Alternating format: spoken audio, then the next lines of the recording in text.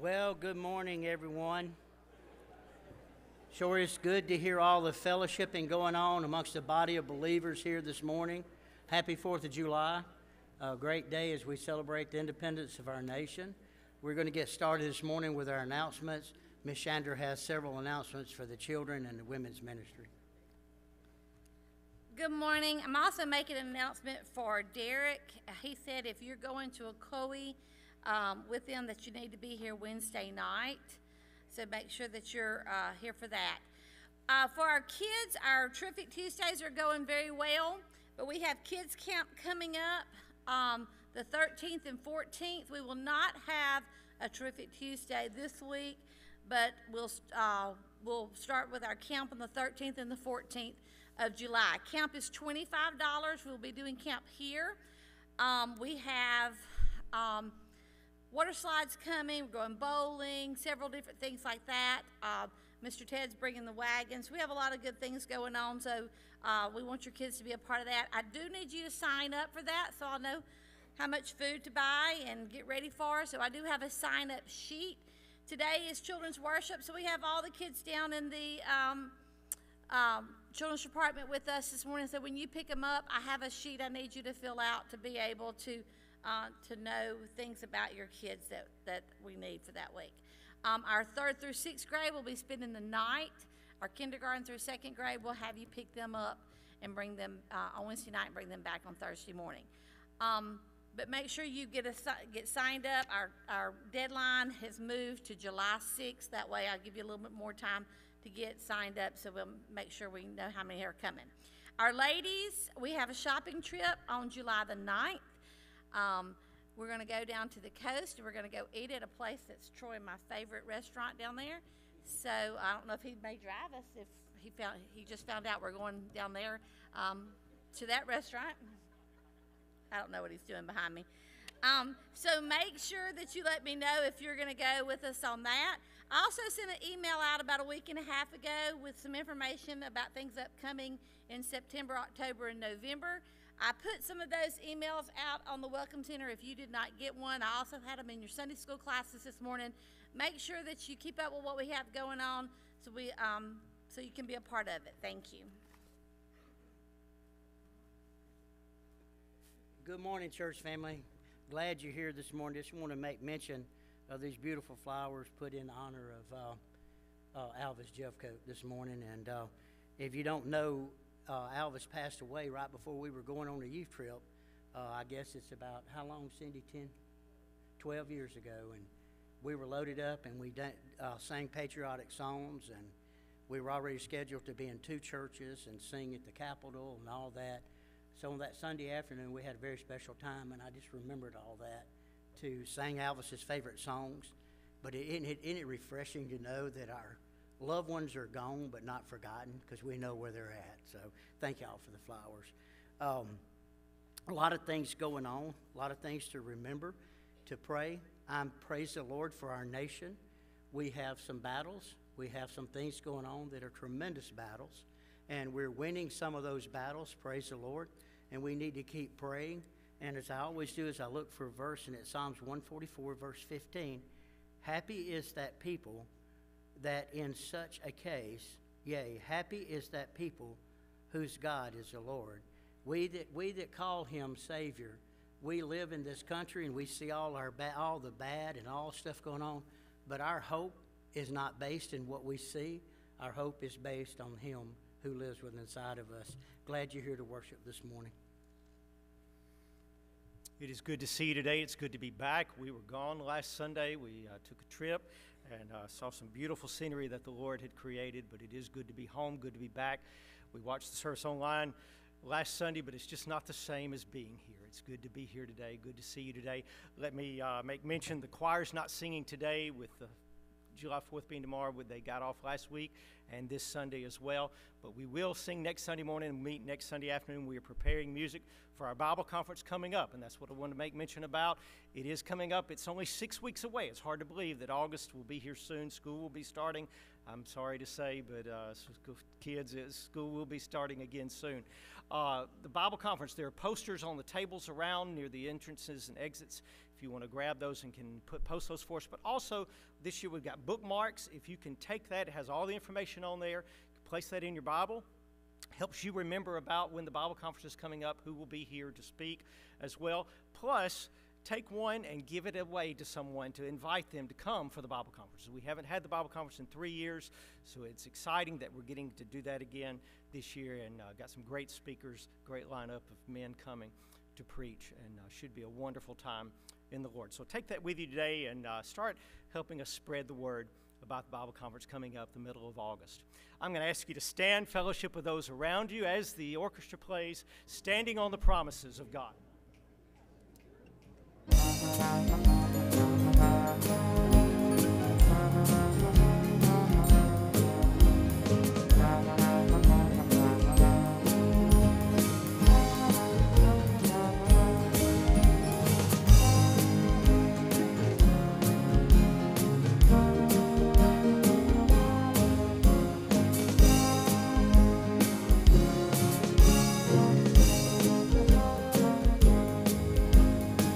Standing on the promises of Christ my King.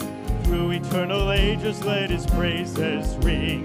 Glory in the highest I will shout and sing, standing on the promises of God. Standing, standing, standing on the promises of God my Savior. Standing, standing, I'm standing on the promises of God standing on the promises I cannot fall, listening every moment to the Spirit's call, resting in my Savior as my all in all, standing on the promises of God, standing, standing, standing on the promises of God, my Savior, standing, standing, I'm standing on the promises of God.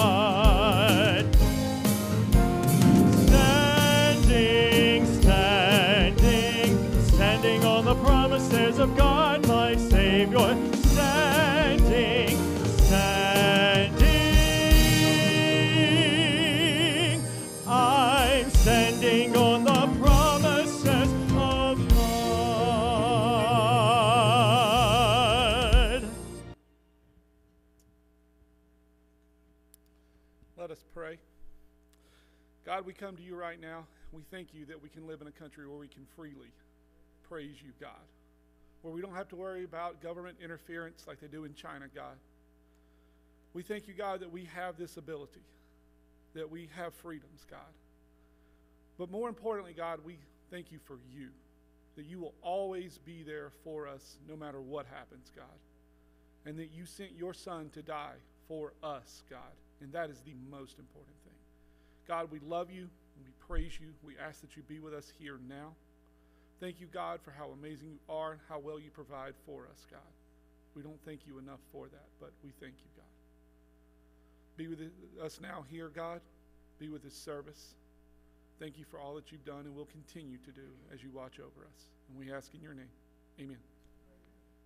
Could remain standing as we sing our national anthem together.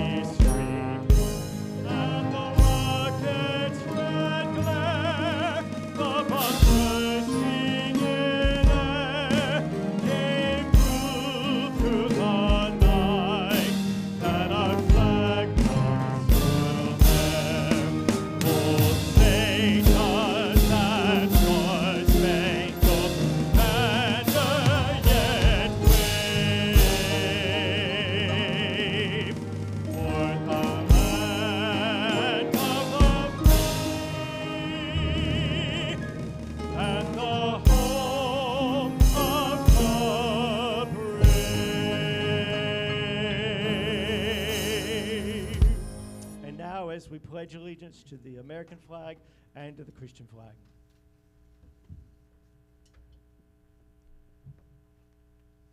I pledge allegiance to the flag of the United States of America and to the republic for which it stands, one nation under God, indivisible, in liberty and justice for all.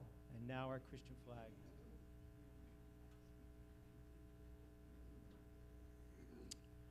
I pledge allegiance to the Christian flag and to the Savior for whose kingdom it stands, one brotherhood uniting all Christians in service and love. Amen. Thank you. Let's sing now our offertory hymn, America the Beautiful.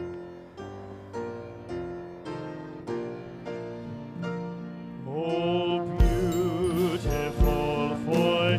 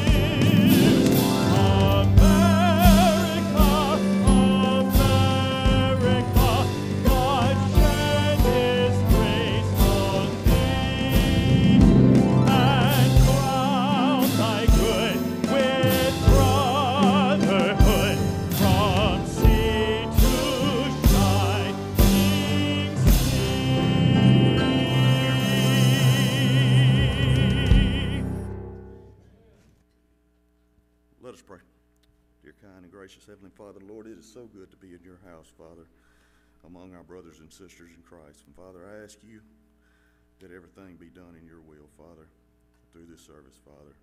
Father, if there's someone here that doesn't know you, I just ask that today to be the day of salvation. Lord, I ask you to be with us during this uh, time that we take up an offering, Father, and just pray that it be used in the furtherance of your kingdom. I ask you to bless the gift and the giver. In Jesus' name I pray. Amen.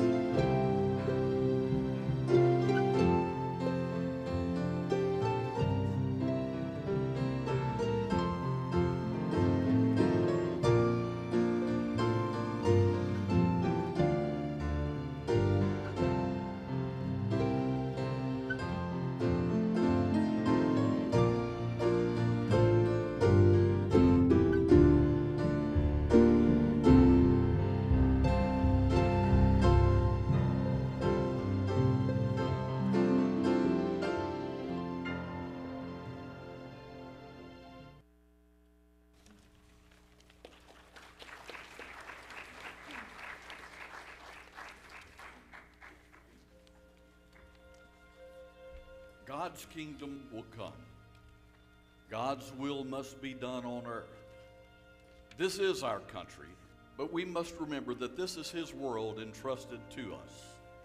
Let us live in harmony and cherish the beauty He created for us. This is my Father's world. Oh, let me ne'er forget that though the wrong seems off so strong, God is the ruler yet. This is my Father's world. The battle is not done. Jesus, who died, will be satisfied, and earth and heaven will be one. This sweet land of liberty is but a prelude to the freedom that can only be experienced in the presence of the Father through the sacrifice of the Son, ushered in by the Holy Spirit. Seasons will come and pass, nations will rise and fall, the grass will wither, and the flower will fade, but the Word of God will endure forever. His truth is marching on.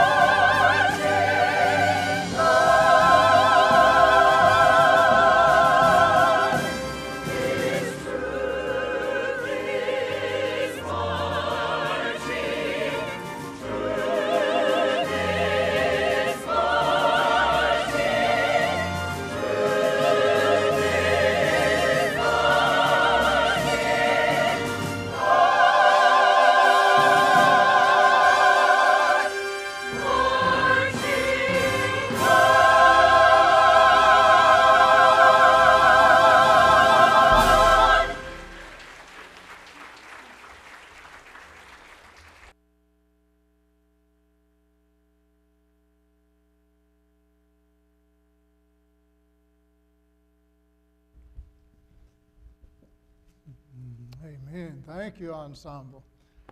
I want to invite you to take your Bibles while they're coming down and let's turn to the book of Luke, the Gospel of Luke, chapter 12. The Gospel of Luke, chapter 12.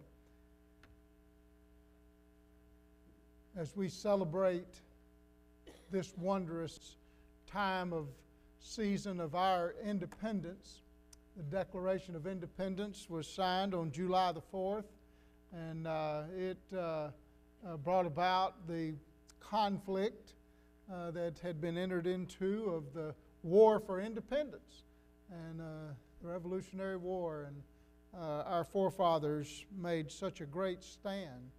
And, you know, at the same time that the Declaration of Independence from Great Britain was signed, it was also a declaration of our dependence upon God. And uh, God has uh, blessed us immensely. Uh, we look back to the faith that our founding fathers had in, in God Almighty, and it, um, it's there. No matter what the revisionists would want to tell you and teach you, our, not all of our founding fathers were Christians for sure, but the vast majority were. And God did bless this nation. And uh, God blessed us immensely and has continued throughout these years to bless us. It's so sad uh, to see a nation that has been blessed as we have, how uh, we've turned our back upon God in such uh, detrimental and devastating ways to our country and to our nation. A couple of weeks back, I preached a message from Paul where he said that he had learned to be contented in whatever situation that he was in and with whatever he had. And there's a tremendous uh, blessing to learn the secret of contentment. In this passage that we'll deal with today, the Lord Jesus Christ is giving us a parable of what can happen to a person who gets consumed with material things. I want you to read with me here in the book of Luke, and we'll drop down to verse 13 of chapter 12. We're looking today at the parable of the fool. The parable of the fool. Verse 13 begins, it says, Then one from the crowd said to him, Teacher, tell my brother to divide the inheritance with me. But he said to him, Man, who made me a judge or an arbiter over you? And he said to them, Take heed and beware of covetousness, and that could actually be uh, translated greediness Beware of greediness, for one's life does not consist in the abundance of the things he possesses. Then he spoke a parable to them, saying, The ground of a certain rich man yielded plentifully. And he thought within himself, saying, What shall I do since I have no room to store my crops.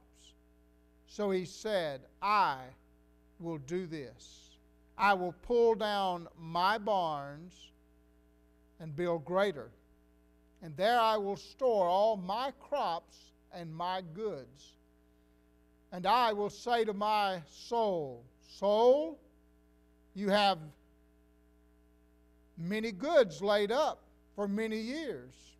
Take your ease Eat, drink, and be merry.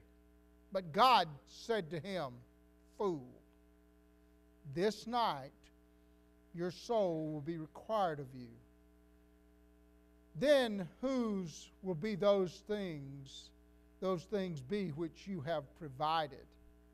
So is he who lays up treasure for himself and is not rich toward God.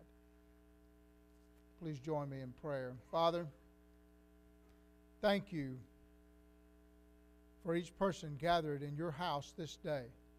Thank you for the ones who are joining us through the internet. Thank you, Father, for your word and this passage that goes right to the very heart of where so many people are living this day and age. This passage that we're dealing with could be taken right from the headlines, right into the lives of so many in the world in which we live this day. Thank you for what we've experienced in your house this morning, for our time in our Sunday school classes, and now in our worship service. Thank you for fellowship that we've had with our brothers and sisters, for the singing as we've lifted up our voice in praise and song to you. Thank you for this time now that we can open up your word. We do so with an anticipation and a longing for you to speak to our hearts. I pray you would use me to speak forth your truth in clarity. Under the unction and guidance of your Spirit, I dare not desire to speak my word, but your word. And I pray, Father, that as your word goes out, it would go out to open ears and receptive hearts, that we would capture every thought that would not be conducive to this service, that we would allow the Holy Spirit's presence to be mighty, and that Him to take this word and bring it with great power and application, and it would become alive and living in each heart in this building this day, and it would accomplish the purpose you have for each of us. Thank you for everything you've done for us. Thank you for what you're going to do. Thank you most of all for Jesus. We pray all this in his most wonderful name. Amen. In chapter 12, we have two passages where Jesus says, Beware.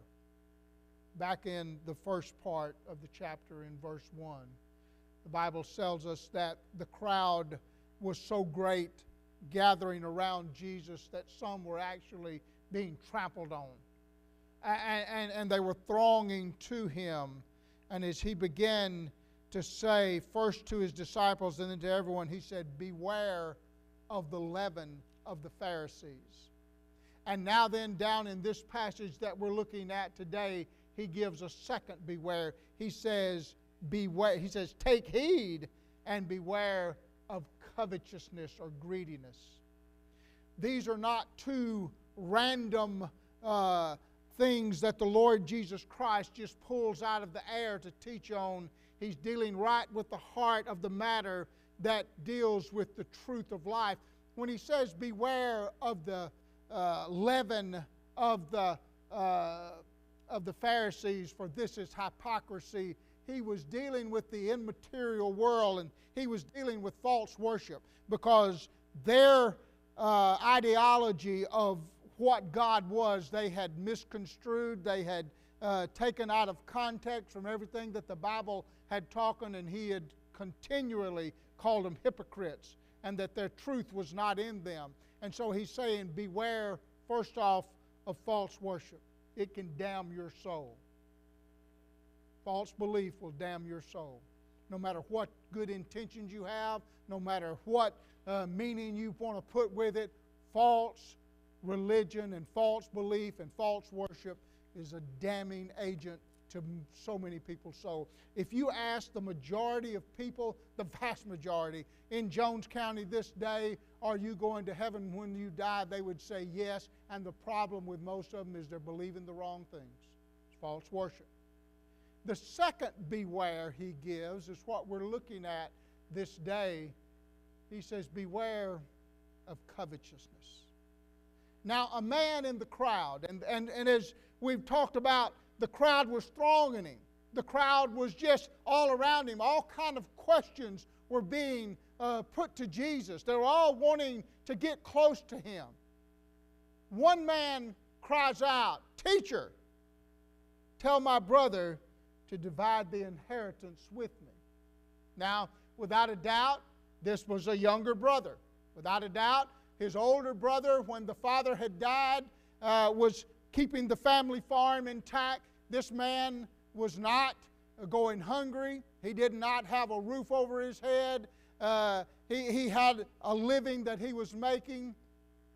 Now, you say, well, shouldn't the older brother divide the inheritance? Well, probably, but Jesus looks right into the heart of this young man and he, does, and he says, Man, who's made me an arbiter over you? Why, why are you asking me to try to force your brother into doing something?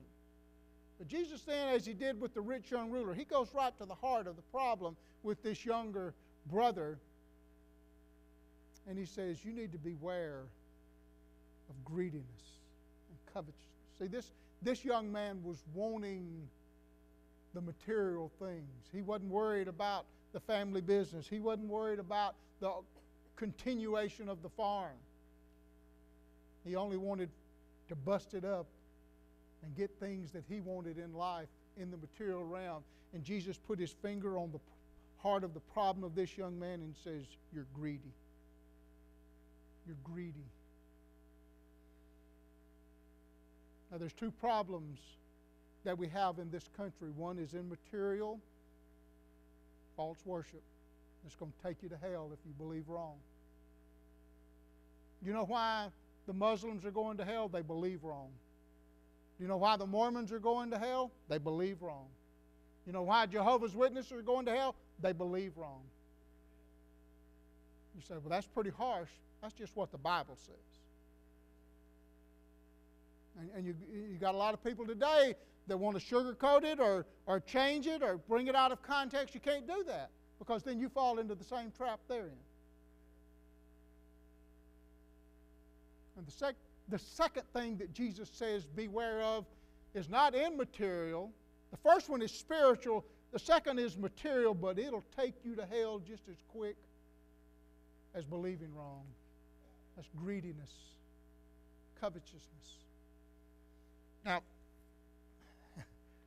we live in a day and we live in a nation where we enjoy staggering material prosperity. I mean, it's staggering. Our lives are filled to the overflow with material things. We have so many possessions, they actually possess us. We are consumers being consumed by our own consumption. We've got stockpiles of possessions. We have so many things we don't even know where to put them. When I was growing up, the first two houses that I remember us living in didn't even have a carport. Didn't have a carport. I, I, I thought it was a strange thing when we went to somebody's house that had a carport. I, I didn't know what it was. And, and I remember this so pointedly when we when JJ and Luke were living up in Charlotte, we went up there two or three times and they were in this neighborhood and all the houses were built similar and they all had a carport. And I remember as I would go out walking in the neighborhood or driving in, all the cars that were in the, I thought, man, these people, they must be tons of people living. I said, they got all these cars out in the, in the driveways. And then as I walked around and those carports were raised up, Every carport was filled to the overflow with things. Things. Nobody used their carport to put the car in because they had so many things they couldn't get in the house, they put it in the carport. And I talked to this one man and I said, Man, you got your carport full. He said, You ought to see the attic. Do you know what the fastest one of the fastest growing businesses has been in our nation the last 30 years? Storage buildings. Do you know why people buy storage buildings or, or put things in storage buildings? Because they can't get them in the carport anymore or the attic. The house is full, the carport's full, the attic's full. So what do they do? They get a storage building. And now then they got these pods that you can rent and put in your backyard so you, when you fill your attic up and you fill your carport up, then you put it in a pod. Then you get you a storage building. You say, what are you saying?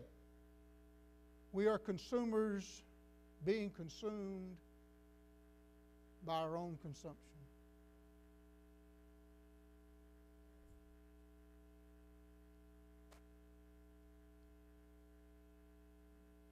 Jesus put his finger on the source. You say, wait a minute, Brent, it's not wrong to have things. No, it's not. It's not. It's the attitude toward those things. This is what Paul said. Listen to this. In, in 1 Timothy 6, verse 9, but those who desire to be rich fall into temptation and a snare, and into many foolish and harmful lusts which drown men in destruction and perdition. For the love of money is a root of all kinds of evil. It doesn't say money is evil, it says the love of it. For which some have strayed from the faith in their greediness, covetousness, and pierced themselves through with many sorrows. At the end of this passage, in verse 21, Jesus says, So is he who lays up treasure for himself, speaking of the greediness and the covetousness in the material realm, and is not rich toward God. And is not rich toward God. You see, the issue is not possessions, the issue is the attitude toward them. You've only got one life. And we live in a material world and we have to have material things, and God knows we have need of material things. Jesus said that. Your Father knows you need these things. And the Bible never says it's wrong to have things. The Bible actually says God has given us all things to enjoy. But there comes a point when those things, good things, can truly become bad things in our life. You see, anything that's material only belongs to this life, it's not going into eternity. So listen to me real carefully. That means it has no enduring or eternal value. You want me to say that to you again? Anything material, anything material is going to stop when this earthly life is over for us. It's not going into eternity with us. So it has no enduring value, it has no eternal value. Of all the generations who's ever lived, we are consumed with consumption. We have so much more than we really need. And it's the attitude that comes with it. We spend all of our time worrying where we're going to spend our money. What other gadget are we going to buy? What other thing are we going to con- consume? I was talking with someone yesterday, and he said he had heard that in the month of July, or maybe June, that credit card debt was going to go up 40%. People traveling don't have the cash to pay for it, so they're putting it on a credit card. And as a matter of fact, one of the things I read said that a lot of people are still paying off on credit card debt what's stored in storage buildings.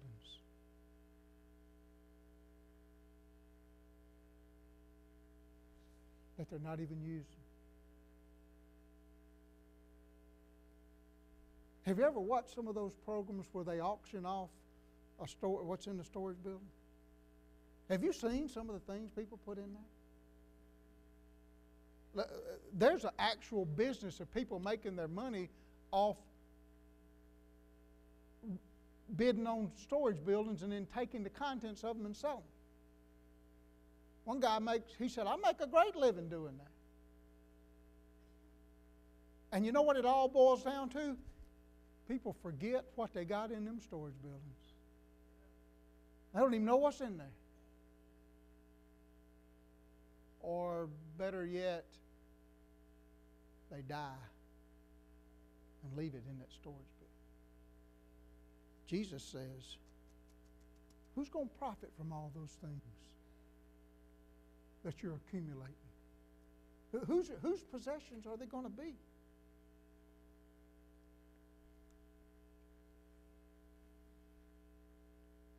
So as this man asked Jesus, Teacher, tell my brother to divide our inheritance so that I can get what I want.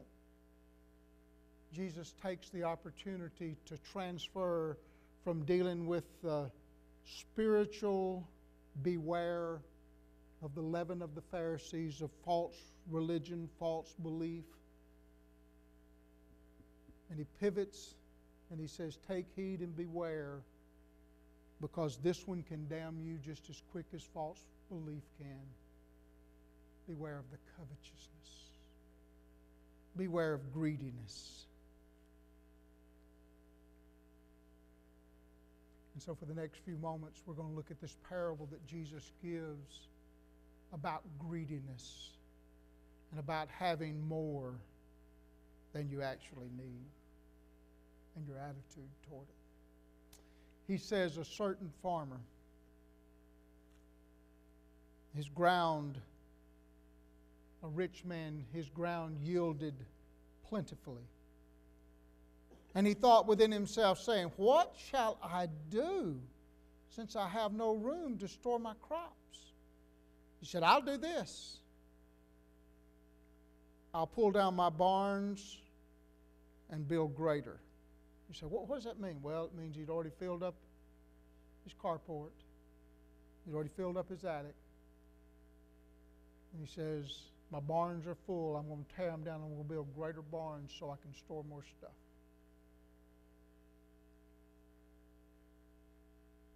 And I'm going to say to my soul, Soul, you've got plenty. Eat, drink, and be merry. You got enough to last for years that you've got laid up. Take your ease. Jesus says he's a fool. Wrong in his attitude about his material wealth. So, if you had to take the Bible and give a description of the average Christian person today, or the average person, maybe not Christian, you find it right here. More, more, more, more. I want to ask you a question. When is enough enough? I made a statement a couple of weeks back to whom little is not enough, nothing is enough. What Jesus is putting his finger on is the fact that things will never satisfy. Things will never bring contentment. Things will never fill the gap. Only God can do that. And only from our innermost being, where God works through the salvation that comes through His Son and the Spirit that takes residence in our life as our down payment on our salvation and the fulfillment that we get and contentment we have by having a relationship with Almighty God through His Son, the Lord Jesus Christ, who died in our stead, can we have that contentment and peace and joy that we're longing for? What is the purpose of all these material things? To try to satisfy ourselves, to try to bring contentment to ourselves. Listen to me. It's never going to happen. Now, I want to tell you, I'm not telling you it's wrong to have things. The Bible never says that. It's wrong in the attitude of the things you have. It's wrong when these things consume you. You see, if you spend all your time worrying about what you're going to buy next, Worrying about what car you're going to get next? Worrying about, well, uh, do, do, I, do I have enough to upgrade my house? Man, I've got this house, and, and, and, and, uh, and, and uh, but I want a bigger one. You say, is anything wrong with having a bigger house? No. Until that consumes you, and that's all you think about. You see, this man, the first thing that we, we learned from him, and I got to get jumped off, he was wrong about his abundance. He was so wrong, and, and, and his, his abundance caused his worship to be all out of whack and all out of kilter. It caused it, his worship to be wrong. Now, when you read this and the problem that faces him with this overabundance and not having any place to store all of his goods, you find I, me, or my 11 times in three verses. You say, what does that mean? That means all he was focused on was himself. And when you get to a point where you are the only focus of your life, you have inherently taken yourself and put in the stead of God's place in your life. Jesus said, We are to seek first the kingdom of God and His righteousness. Not I, me, and my. Not everything about me. Not everything about a whim about what I want, when I want, and how I want it.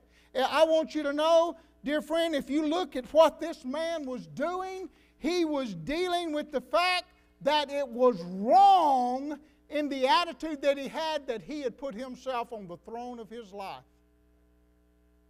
Jesus said he's a fool. We know the definition of a fool. Fool says in his heart, What? There is no God. But Paul wrote in Romans 1, under the leadership of the Holy Spirit, although they knew God, they glorified him not as God. Neither were they thankful, but became vain in their hearts. And professing themselves to be wise, they what? Became fools. So a fool can say in his heart, There is no God, but a fool can also become one who turns away from God, although he knows God is there. And he turns away and he starts. That's what someone who's consumed with greediness and covetousness is doing. You see, this man was his own God and he was worshiping at the altar of self. And he was wrong in his worship. I want to do what I want to do. I want to do it my way. I want to have my process. I want to go my way. His song was, I did it my way. Jesus says he's a fool. A couple of very terrible things happen when you put yourself on the altar and you worship everything about yourself. You say, wait a minute, wait a minute. This guy wasn't bowing down to himself. Yes, he was. You see, Jesus said, You'll ha- You shall have no gods before me. And he said, Anything you put before me, that's your God. I, the Lord your God, I'm a jealous God. Anything that you put ahead of me, that's your God. And this farmer had put himself ahead of God.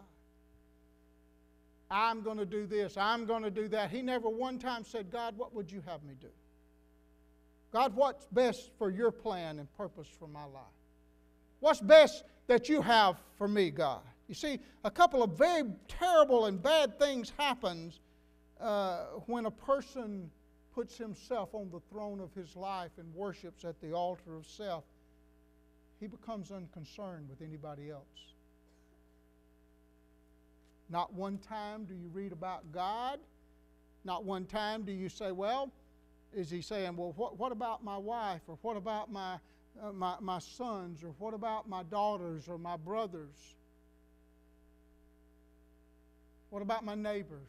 He, he, never considered a one of them. You see, there's not a word about a family member, not a word about a friend, not a word about a neighbor. this man was worshiping at the altar of self. You see, one of the things that happens when you only are concerned about yourself and you're unconcerned about nobody else, you become a very judgmental person. If you're ever around somebody that judges people very quickly, nine times out of ten, that's a very selfish and covetous person. You say, Woo, you, you hitting right. Hey, listen to me. The Bible says we are to love our neighbors as ourselves. Anybody you love, you don't judge. And you're not harsh in your condemnation toward them. Because love covers what? Multitude of sins. And the problem with being consumed by yourself and a disregard for anybody else, then you don't you're not concerned if they're lost or saved. You're not concerned if they have a need. Not concerned if they have a problem, if they're troubled. Not only, not only does selfishness and covetousness and greediness produce a disregard for anyone else, it produces a, a dissatisfaction with your own self. Now, listen to me real carefully because I'm going to hit the nail right on the head. By logic, by logic, when a person comes to the point where they're not concerned about anybody else, then they have to reason in their mind well, if I don't care about anybody else, then nobody else cares about me. Nobody else cares about me, and they feel unloved and unwanted. You see, and it all comes from their track of being totally consumed with themselves. Because when you get to the point where you're totally consumed with yourself and you have a disregard for no, for, for, for no one else, then you're going to think, well, nobody else cares about me since I don't care about anybody else. If nobody's important to me, then I must not be important to anyone else. And you know what comes through that? Total loneliness. Total loneliness. You know what they've identified as the number one problem in our country is loneliness. And you know what it stems from? Greediness and consumed with self. Consumed with self. That's where it comes from. It's where it all stems from.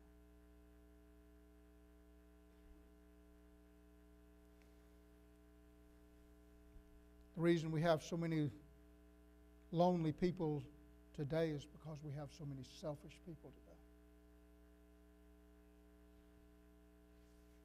Back early in my life, before I met Sheila and I was in college, I, I sent a picture to the Lonely Hearts Club. They sent it back to me and they said, We're not that lonely. you know, there's all kind of ways you can try to figure out how to, how to, how to, how to help out on that loneliness. Let me tell you the best way. You start caring about people. You put God in the proper place that He should have in your life in preeminence. You love your neighbor. You love the Lord your God with all your heart and all your soul and all your mind. You love your neighbor as yourself, and you get yourself off, the, off the throne of your life, you will not have a problem with loneliness anymore. God will be real to you. People will come to you.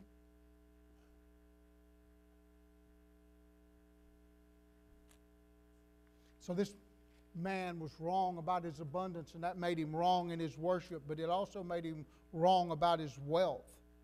You say, well, well Brent, tell me, tell me how I can know if I'm, if I'm putting things ahead of God. Okay, since you asked. Do you think of yourself more than you think of God? Do you focus on yourself more than you focus on God? Are you totally self confident with just you doing everything? Or do you dependent on your own ability, abilities?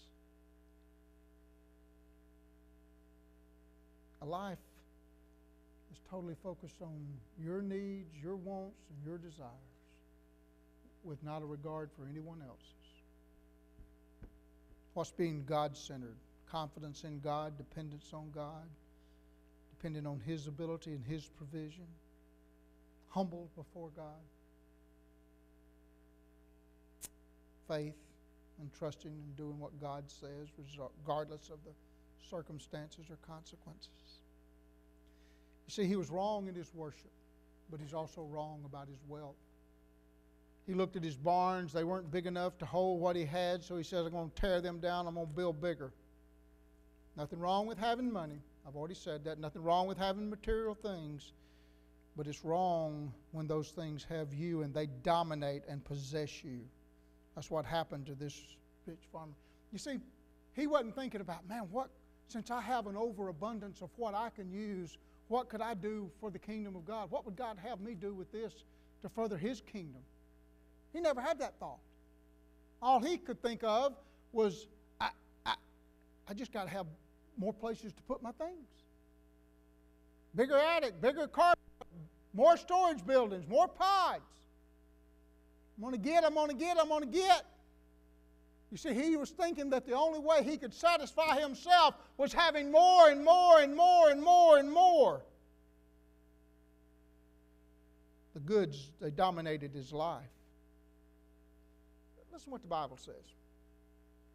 Ecclesiastes 5 says, He who loves silver will not be satisfied with silver, nor he who, who loves abundance with increase. They will never satisfy you. Silver's never going to satisfy you, and more abundance is never going to satisfy you. It's nothing but vanity. Solomon wrote that. He was not only the wisest man ever lived, he's about the richest man that ever lived. And he says, All is vanity. I've tried everything, I've done everything, I've had everything, I've possessed everything, and it's worth nothing. Worth nothing.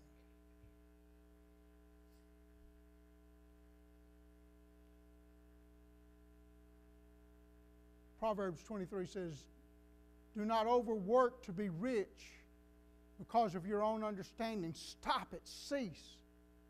Will you set your eyes on that which is not?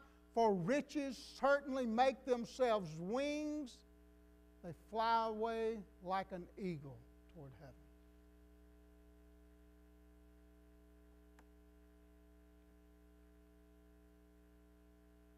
Abundance and material things are unsatisfying, but they're also uncertain. I don't know if you've been keeping up with it, and I'm not going to delve into it too much. But you might want to open your ears and your eyes to where you hear them talking about the Great Reset. The Great Reset. You say, well, what, what is it in a nutshell?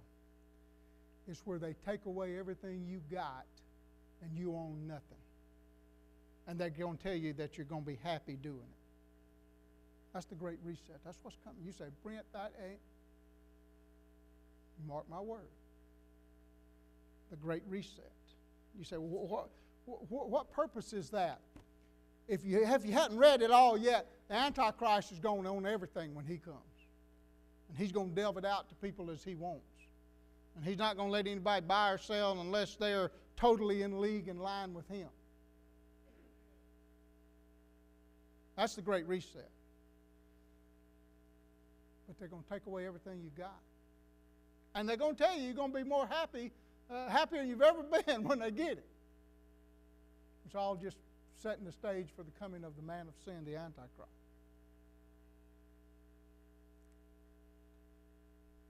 You might say, you ought to look at my bank account. They're going to take it away from you. You know why? Riches are uncertain. They're unsatisfying and they're uncertain. Now, I had a man call me a few weeks ago, been a good friend of mine for a long time. He said, Man, I got all my money in the stock market. It's going so. He said, What should I do? I said, You calling the wrong person. I ain't got a clue. He said, Man, I'm he's he's an older guy now. He said, I'm he said, I'm only worth now 30% of what I was a few weeks ago.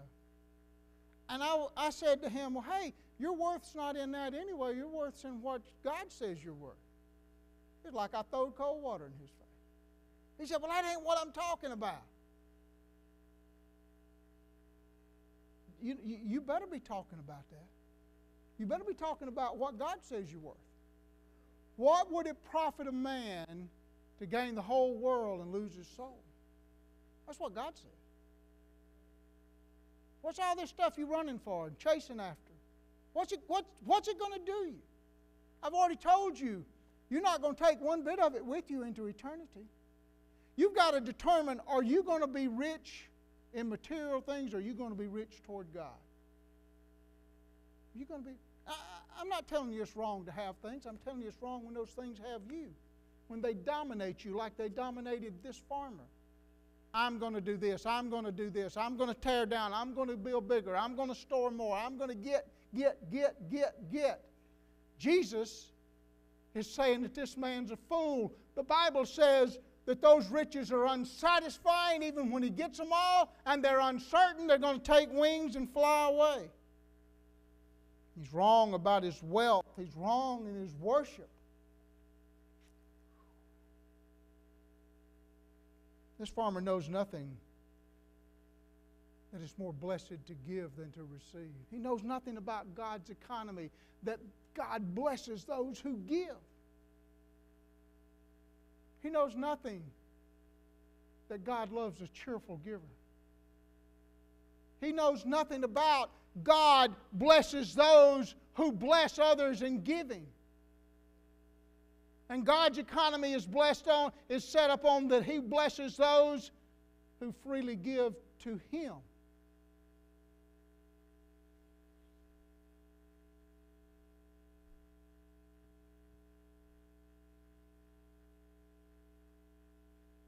This farmer thought you had to build bigger barns and stronger gates bigger houses.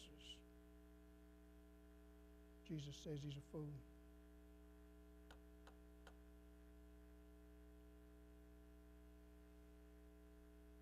I have enough, he said, to last me for years. I can coast the rest of the way.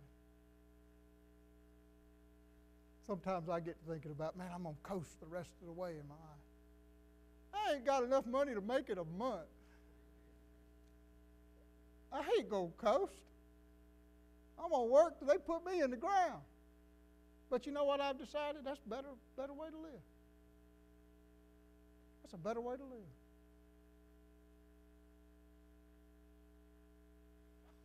I got enough, this man said, where I'm on easy street.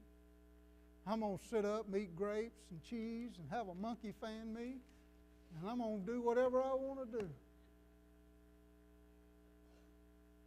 When I was little, I always wanted one of them monkeys that, you know, you, you, you played the thing and he'd, he'd dance. I always thought that'd be so neat. I don't know why I said that. It ain't in the notes.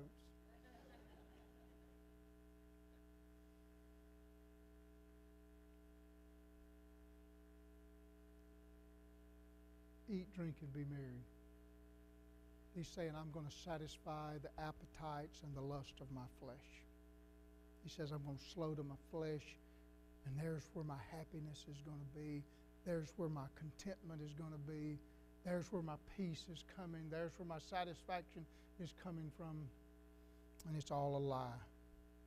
He's saying, if I can satisfy the cravings of my flesh, I will be happy. You know why that's a lie? That's why the alcoholic has to drink more today than he drank yesterday because yesterday didn't satisfy him.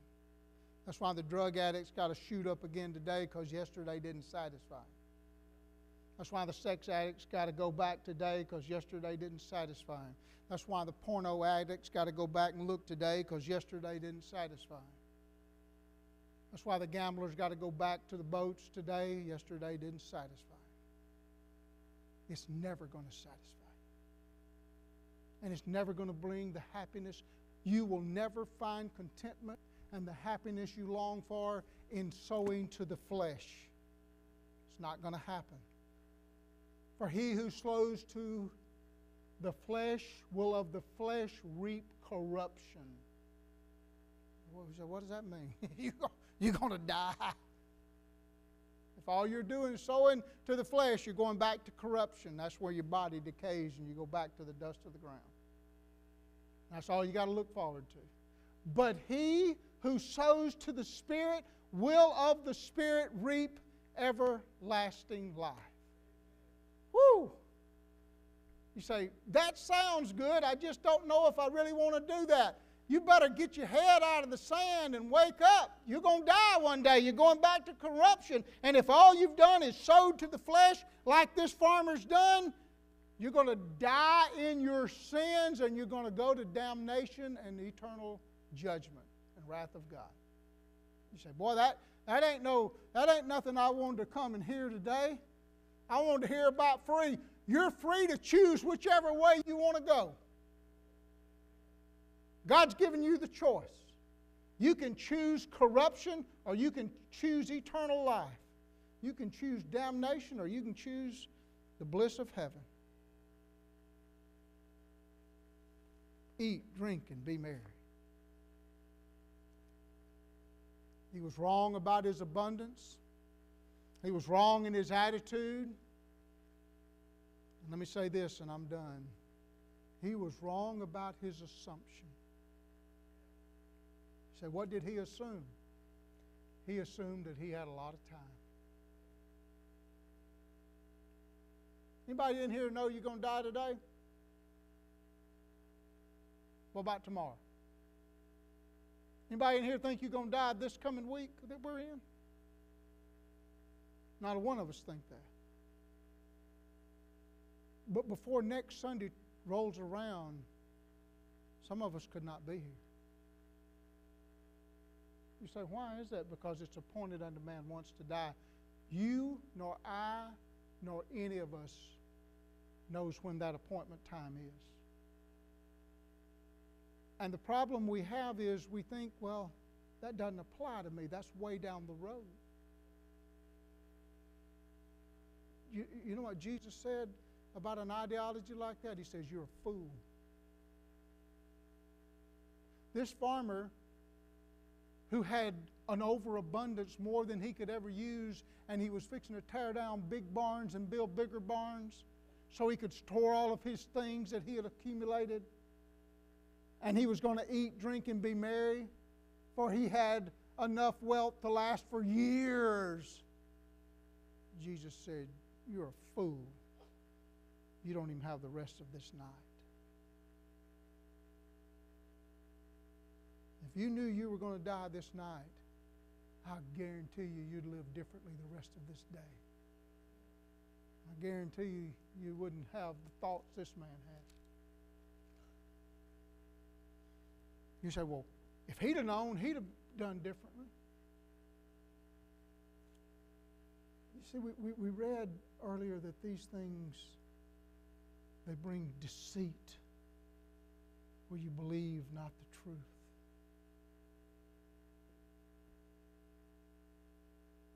He believed, just like many of you in here this day, that it just doesn't apply to me. He said, Brent, how can you say that? because you're fixing to get up and walk right out of here and you're saying it doesn't apply to me. Can I give you, can I, can I tell you something? It applies to each of us, every one of us. And the whole decision process that comes at this point am I going to be rich toward God? Or am I going to be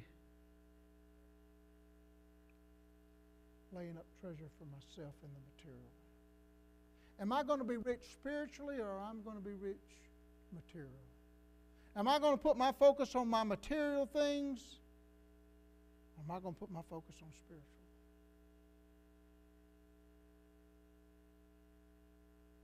And, and if your attitude is, I want to, I want to, I want to get my I want to get my deal done with God so that I know I can go to heaven, then I want to live the way I want to live, you're barking up the wrong tree anyway. God doesn't offer that kind of salvation. And He doesn't offer that kind of plan. He offers a plan where one gives his heart and life and his total self to God, and then he realizes he's been bought with a price and his life is no longer his. He gave it to God in salvation, and he lives for God the rest of his life. That's the only thing I read about. Jim, can you find a salvation that the Bible teaches where you can go off and eat, drink, and be merry and do whatever you want to do? I don't find that. And if you've bought into that lie, you need to turn off from that road you're on that's headed to corruption and then you give heart to Jesus today. Because it's going to take you down. And you're going to be just like this rich farmer.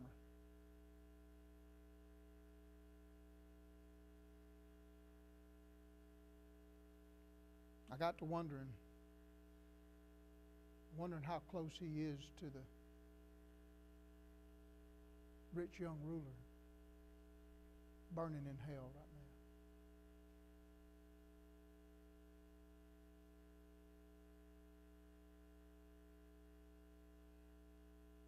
Because apart from laying up treasures in heaven, seeking spiritual wealth that can only come from Jesus, we're all headed to damnation. Jesus said, Beware false worship. It'll take you to hell. Beware greediness and covetousness. It'll take you to hell. Quick. It'll consume you, just as it had done this rich farmer. Let's bow our heads. Father, these words are sobering, they're enlightening. And I pray, Father, that they're received by each person in this building this day. Satan had just as soon to carry someone to hell through false belief as he had through greediness. Let not one person walk from this building today wanting to lay up their treasures in the material realm more than the spiritual. I pray that right now, anyone who's bought into this lie and taken this path would turn from that, turn their heart and life to Jesus, come back to the life God's called them to. Thank you for your word. Thank you for this time of invitation. May your Holy Spirit have great freedom now. May not one person leave here without knowing Jesus as Lord and Savior. And pray all this in His name. Amen. Let's stand together. Eric's going to lead us in this hymn of invitation. And as we sing, you respond as the Lord is leading in your life. I surrender all. All to Jesus I surrender, all to Him I freely give. I will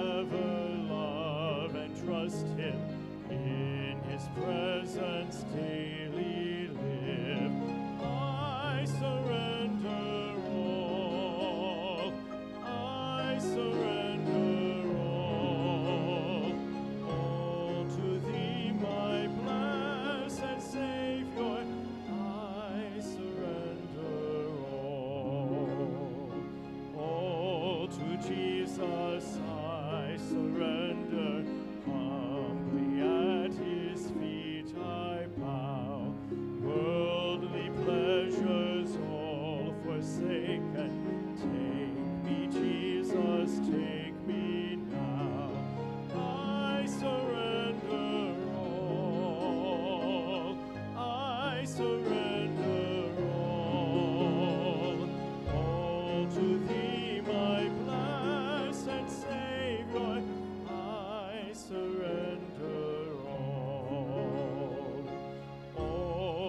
Jesus I surrender.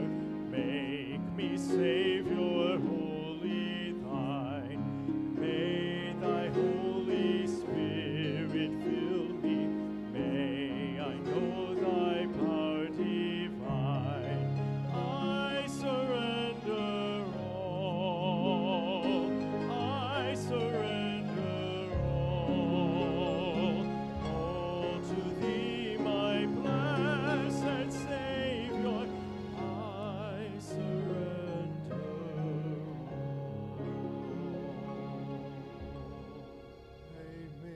Bryant come to the podium and dismiss us.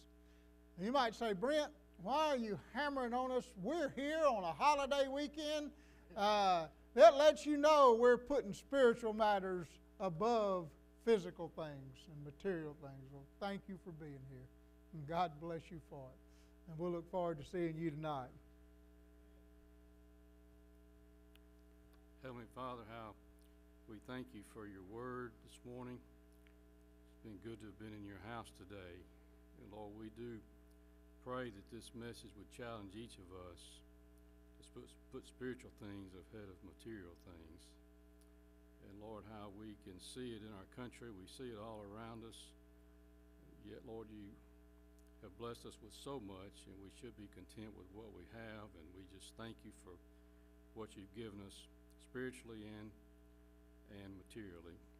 And Lord, we pray that we would use those material things to uh, further reach others and to help others that are in need. And Lord, that we would seek first the kingdom of God and His righteousness, and all these things will be added. We pray this thing, these things in Jesus' name. Amen.